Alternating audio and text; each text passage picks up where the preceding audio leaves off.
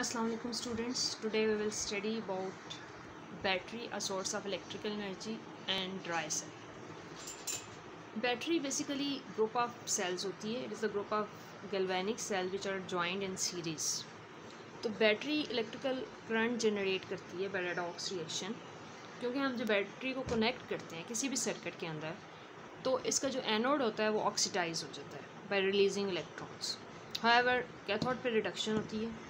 So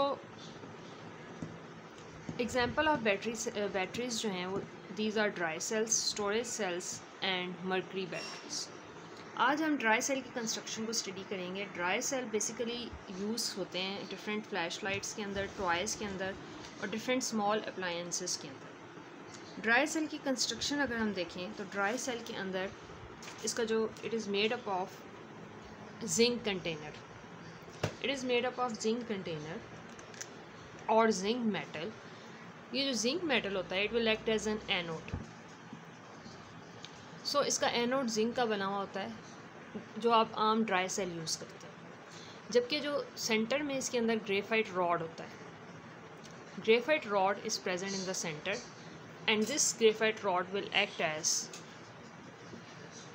cathode graphite rod cathode act करता है, जबकि जिंक मेटल एनोड एक्ट करता है। और ग्रेफाइट रॉड के अराउंड, ये जो आपको ब्लैक कलर शेड में नज़र आ रहा है it is a mixture of manganese dioxide and carbon black paste एक, इसका मिक्सचर ग्रेफाइट रॉड के अराउंड प्रेजेंट होता है, जबकि इसके अंदर जो इलेक्ट्रोलाइट होता है it is the mixture of ammonium chloride and zinc chloride this ammonium chloride and zinc chloride will act as an electrolyte so this is the construction of dry cell dry cell basically मैंने आपको बताया कि it is consist of anode and cathode anode is zinc metal of the container while cathode is the inert graphite rod at the centre which will act as a cathode so cathode is in contact with the mixture of manganese dioxide and carbon black paste which is also called as charcoal और electrolyte इसमें ammonium chloride और zinc chloride का होता है। जब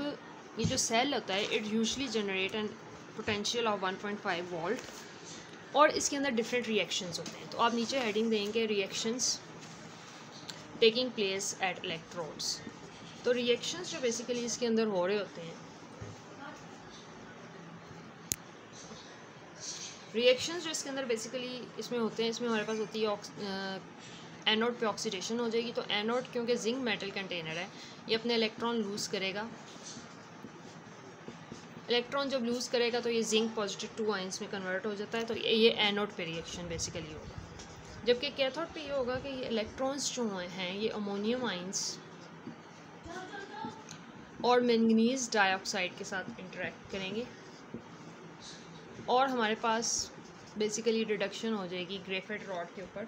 हमारे पास products बनेंगे M N two O three plus ammonia plus water so this reaction will takes place at the cathode so these two reactions takes place at the anode and at the cathode these are very very important so ये आपने अच्छे तरीके से learn करने हैं। तो basically dry sales जो होते हैं, इनके अंदर इलेक्ट्रिक करंट इस तरह प्रोड्यूस होती है। ये पोटेंशियल प्रोड्यूस करते हैं वन पॉइंट फाइव वोल्ट का।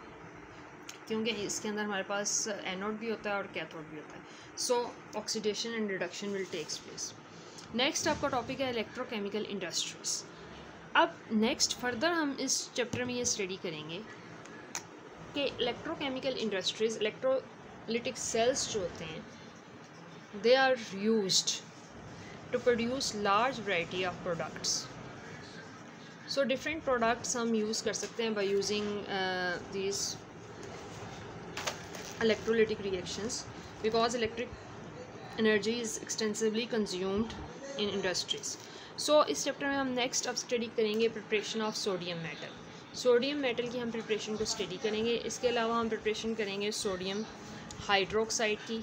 नेक्स्ट हम इसमें करेंगे purification of copper so copper की प्योरीफिकेशन भी हम करेंगे कि कॉपर को कैसे प्योरीफाई किया जाता है।